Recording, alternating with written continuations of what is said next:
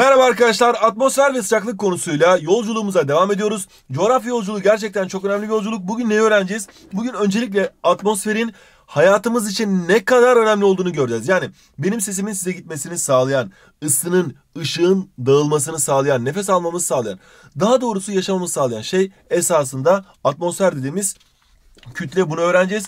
Ardından da ardından da tabii ki atmosferin görevlerine bakacağız ve sonrasında yine birlikte atmosferin katmanlarını inceleyeceğiz. Yok troposfermiş, yok egzosfermiş, termosfermiş. Son derece kolay, keyifli şeyler. Sonra bunların hepsini daha detaylı bir şekilde troposferi, stratosferi, ozonosferi, mezosferi, iyonosferi daha detaylı bir şekilde öğrendikten sonra tabii ben de bunları göstermeye çalışıyorum.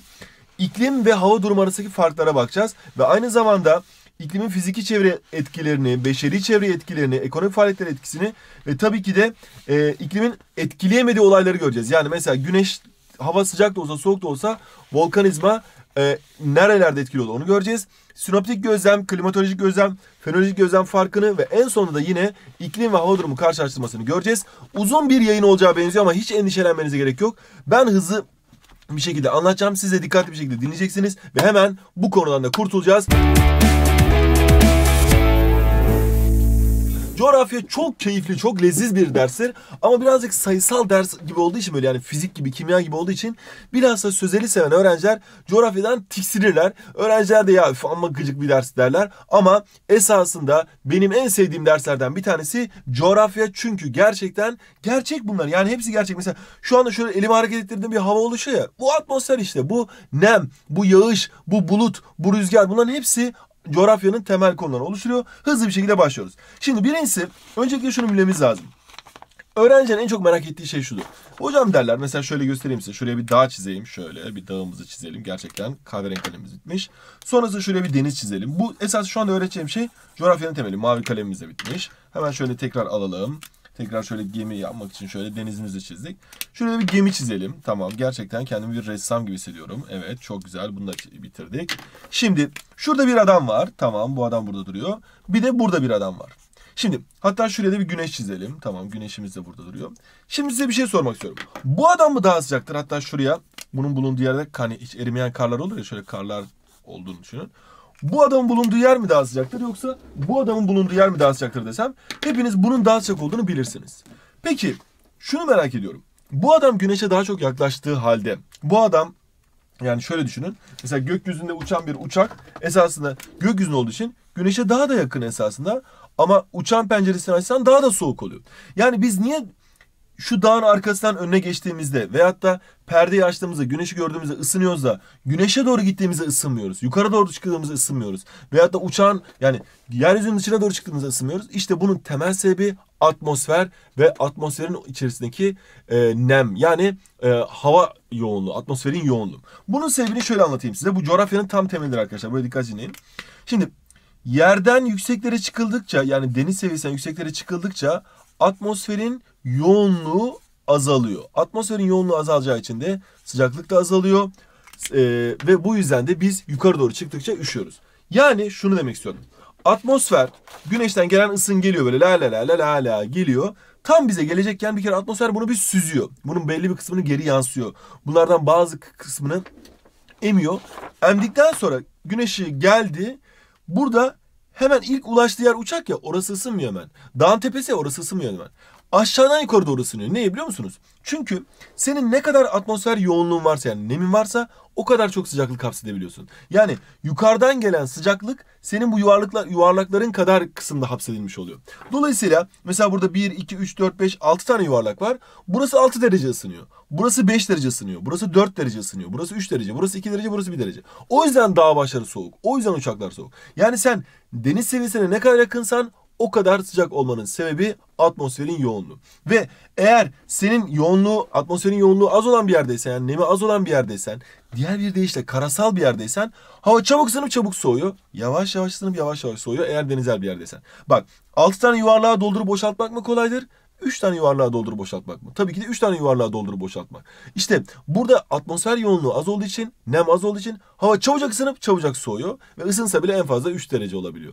Burası ise yavaş yavaş ısınıp yavaş yavaş soğuyor ve ısındığı zaman da 6 derece oluyor. Niye? Çünkü bayağı e, nemi olan bir yer.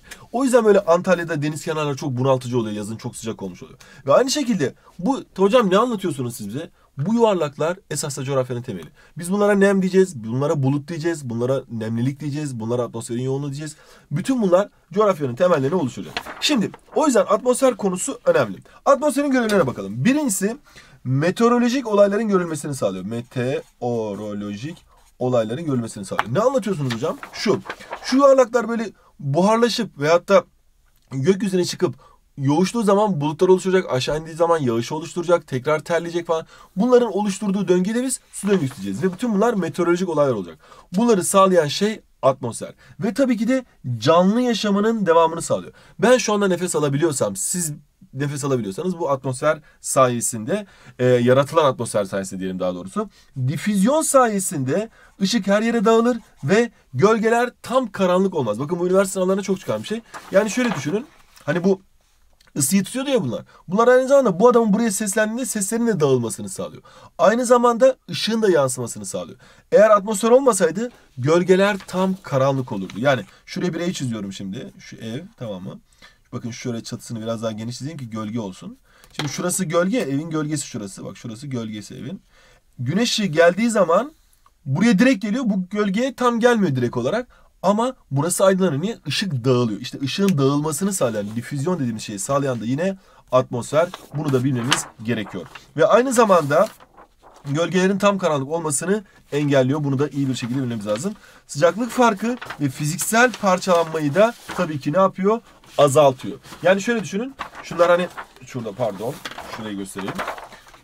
Şunlar atmosfer demekti ya. Bunlar çok olduğu zaman hava çabuk yavaş ısınıp yavaş soğuyordu. Az olduğu zaman çabuk ısınıp çabuk soğuyordu. Dağ başları o yüzden hemen ısınıp hemen soğur. Tamam hocam buraya anladık. İşte eğer bir yer çabuk ısınıp çabuk soğuyorsa orada fiziksel çözüm oluyor. Aynı çöller gibi. Çöllerde yuvarlak az, nem az, atmosferin yoğunluğu az. O yüzden çöller çabuk ısınıp çabuk soğuyor. Her taraf kum olmuş. Bütün kayalar parçalanmış. Ama atmosferin olduğu yerlerde hava yavaş ısınıp yavaş soğuduğundan o tarz mekanik çözülmeler azalmış oluyor. Fiziksel parçalanmayı azaltır. Yani atmosferin olmadığı bir yer söyleyeyim size. Ay. Ayda ne meteorolojik olay var, ne yağmur yağıyor, ne kar yağıyor, ne canlı yaşayabiliyor, ne ışık her yere dağılabiliyor. Ee, her yer karanlık, sıcaklık farkı ve yani güneş ışığı geldiği zaman aydınlık tabii. Sıcaklık farkı ve fiziksel parçalanma çok fazla. Niye? Çünkü gündüz ısını veriyor, gece soğuyu veriyor. Zaten bizde de atmosfer olmasaydı ne olurdu biliyor musunuz? Güneş gelirdi coz diye yanı verirdik hemen. Her taraf yanardı.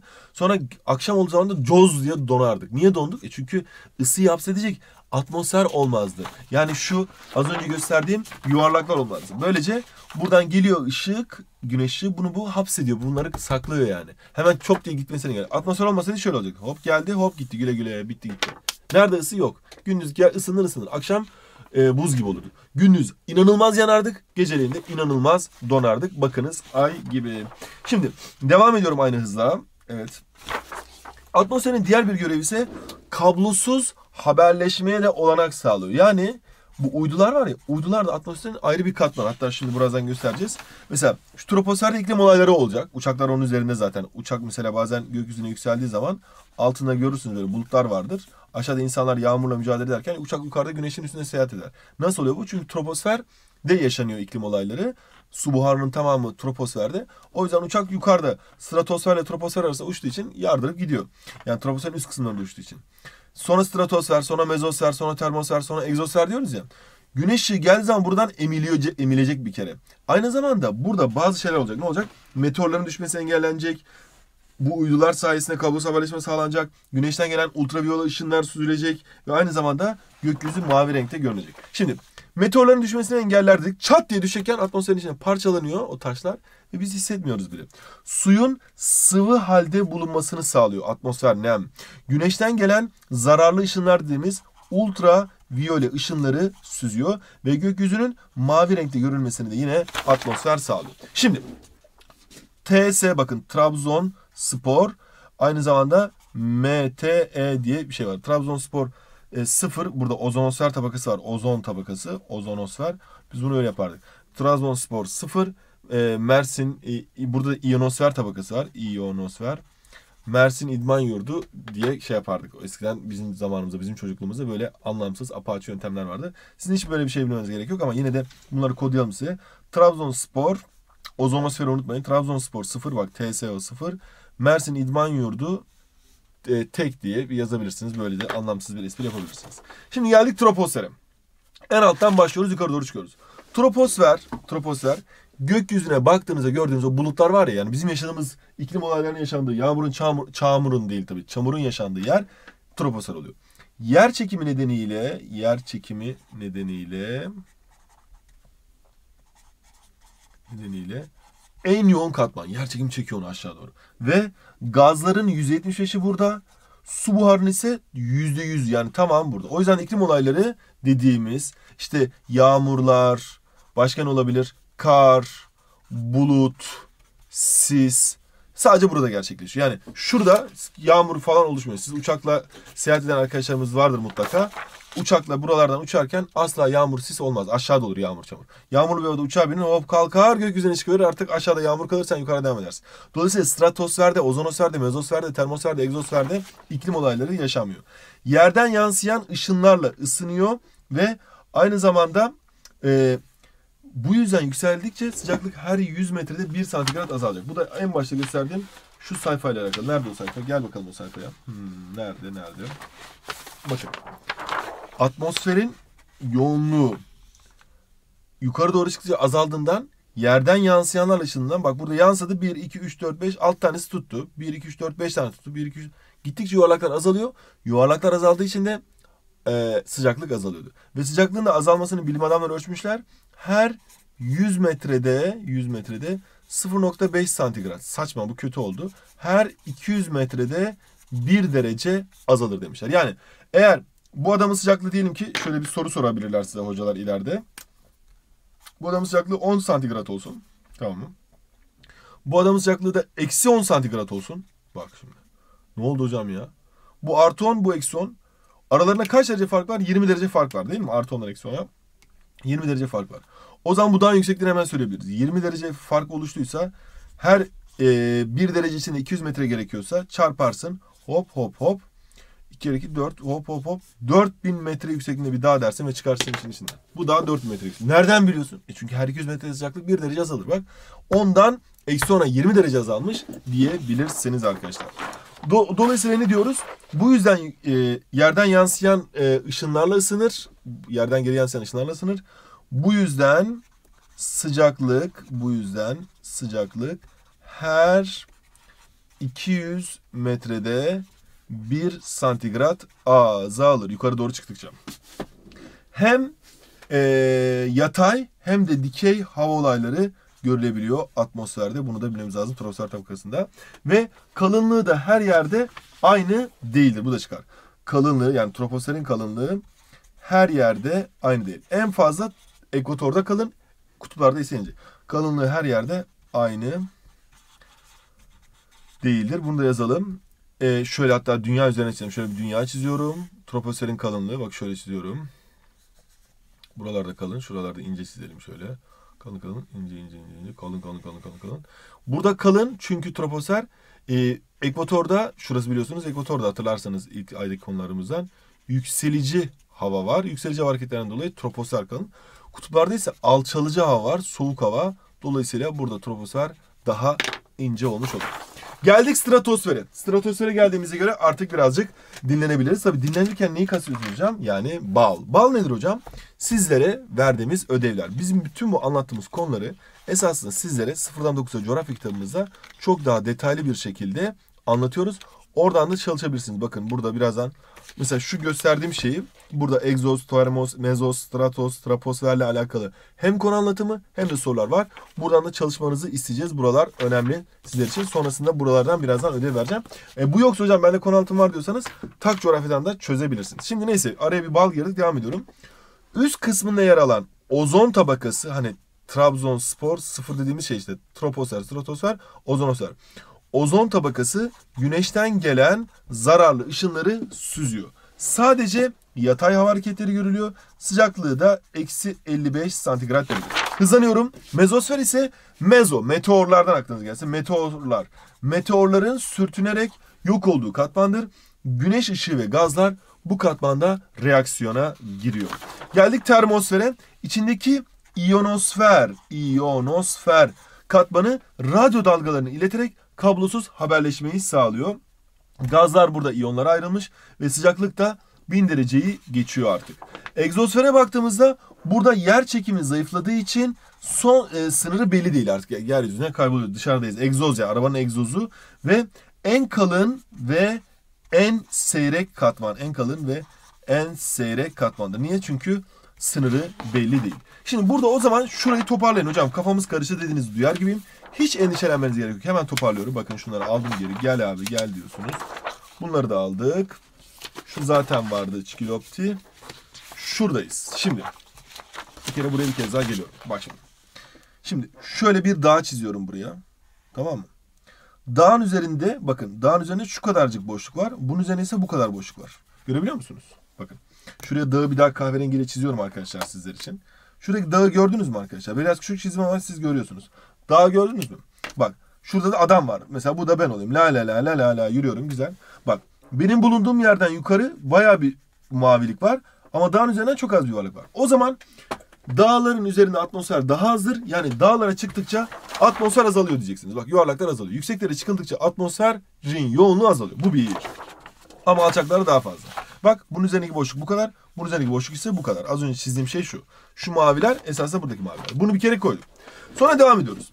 Troposfere geldik. Troposferdeki anahtar kelimemiz bir. Su buharı. Su buharının tamamı burada. İki iklim olayları burada. Ekvatorda kalın. Kutuplarda ince. Sıcaklıkta her 200 metrede yükseldikçe her 200 metrede 1 santigrat değişiyor. Yukarı doğru azalıyor aşağı doğru artıyor. Bunu da cebe koyduk mu? Geldik stratosfere. Stratosferin içinde bir ozonosfer tabakası var. Burada yazıyor. Ozon tabakası. Mezosfer dedik geç bunları. Termosfer dedik geç bunları. İyonosfer. İyonosferin yanına da radyo dalgası yazıyoruz. Bakın bunlar sınavda çıkacak. Burası önemli. Bitti. Egzozda en dış katman. Bu kadar. Bu sayfayı bilmeniz yeter. Geldik. Buraları geçiyorum. Buraları zaten işlemiştik. Detaylı bir şekilde. Bir kez daha o sayfayı gösterdik. Geldik artık en kolay kısma. Burası tam bir salata zaten. Çok basit. Hiç endişelenmeniz gerek yok. İklim dediğimiz şey uzun süren, etki alanı geniş olan ve klimatoloji bilimiyle halledilen bir şey. Sembol olarak bunları kullanıyoruz. İşte yazlar sıcak ve kurak, kışlar ılık ve yağışlı. Mesela bu Karadeniz ikliminin her mevsim yağış alıyor bu. Yağış rejimi düzenli, yazları, kışları bu uzun sürede belli oluyor. Mesela Akdeniz iklimi veyahut da ne iklim var mesela? E, ekvatoral iklim. Bunlar uzun yıllar sonrasında oluşuyor. Ama bir de hava durum var ki çok kısa. Etki alanı dar. Meteoroloji bilim dalıyla yapılıyor. Mesela Perşembe günü hava parçalı bulutlu. Yüksek basınç listenin yarın itibaren etkili olacak. Rüzgarlı oda soğan saati.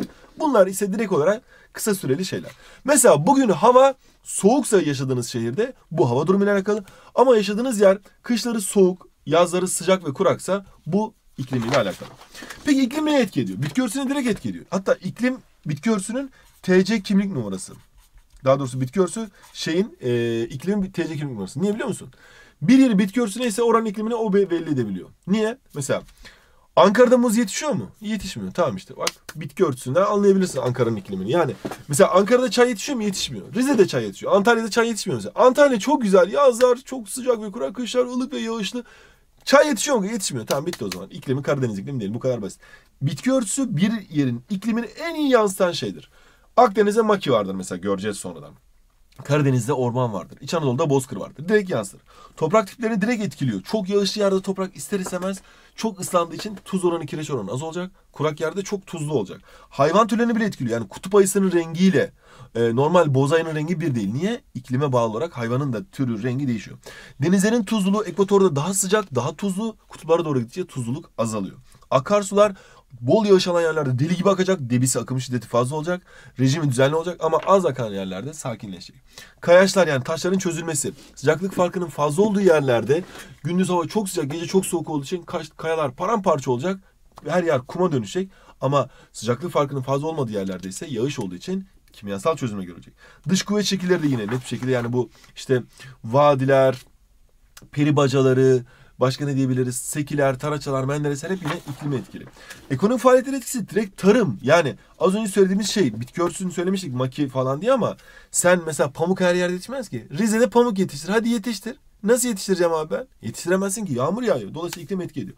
Hayvancılığı etki ediyor. Hayvancılık tabii ki eğer ahır para bastırıp ahırla yapıyorsan o zaman iklimden bağımsız olursun. Ama çoban hayvancılığı yapıyorsan, mera hayvancılığı yapıyorsan e tabii ki Doğu Anadolu bölgesinde sert karasal iklimde büyükbaş hayvancılık, İç Anadolu bölgesinde küçükbaş hayvancılık etkili olacak.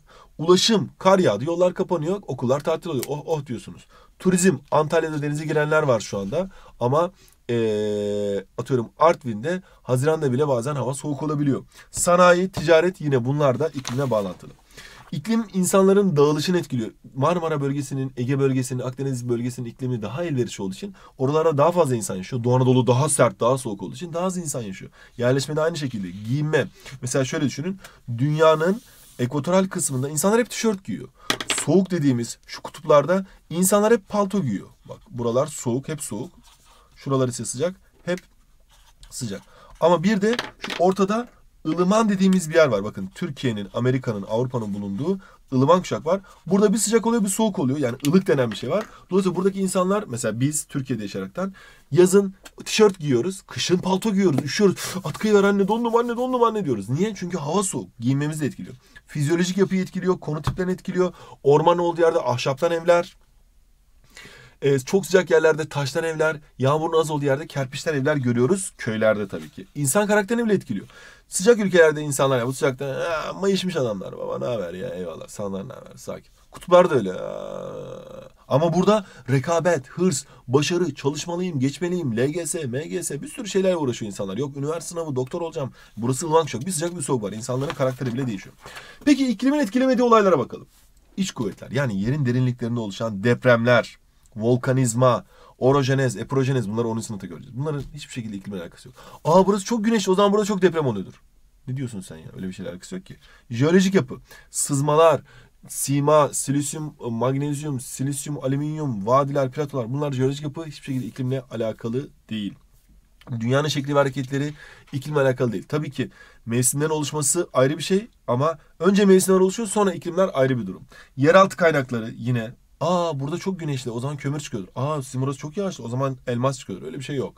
Gel git olayları yine iklimden bağımsız.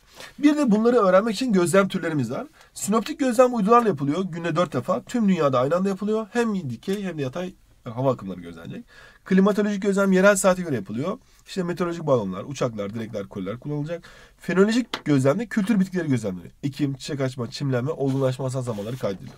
Şimdi şurayı bilelim bir kere. İklim geniş bir bölgede oluşuyor. Bakın bunu iyi bilmemiz lazım. İklim geniş bir bölgede oluşuyor. Ama hava durumu dar bir bölge için geçerli. Yani İstanbul'un Yeşilköy semtinde hava güneşliyken Levent semtinde hava soğuk ve yağmurlu olabiliyor. Bu kadar küçük bir yerde bile fark edebiliyor.